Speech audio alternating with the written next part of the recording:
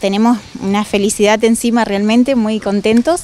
Eh, ya estamos autorizados para hacer el 30 de octubre, si Dios quiere, eh, conmemorarnos en el castillo para hacer nuestra ansiada Freeling Fest. Qué bueno.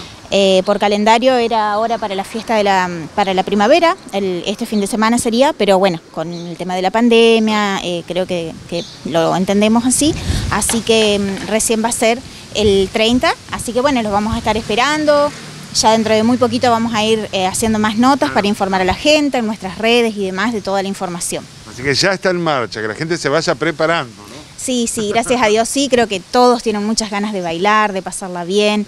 Eh, bueno, va a haber como siempre una gran, un servicio de cantina, buffet, eh, bebidas frías. es importante destacar que lo vamos a hacer en el interior del castillo con un 70% del aforo de personas del espacio.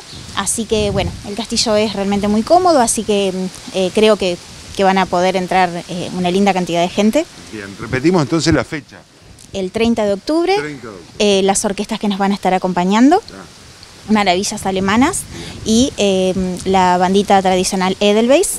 El horario lo vamos a confirmar un poquito más adelante, pero seguramente va a ser muy tradicional como nuestros horarios, que arrancamos bien temprano, tipo 20, 19, 30, 20, ya se abre el castillo hasta las 3 em, de la mañana aproximadamente, que es lo que está dentro del protocolo actual. ¿no? La verdad que, que mucho público lo, pedía, este, bueno, ya tuvimos el fin de semana, gracias a Dios, acá en la zona la Tractor Fest, sé que, fue un éxito realmente, y bueno, creo que de a poquito todas las instituciones vamos a poder ir eh, como retomando para brindarle a la, a la, comunidad de Crespo y zona, que están acostumbrados a tener, bueno, bailes, almuerzos, cenas, y que tan importante es para las instituciones poder volver a hacerlo, ¿no?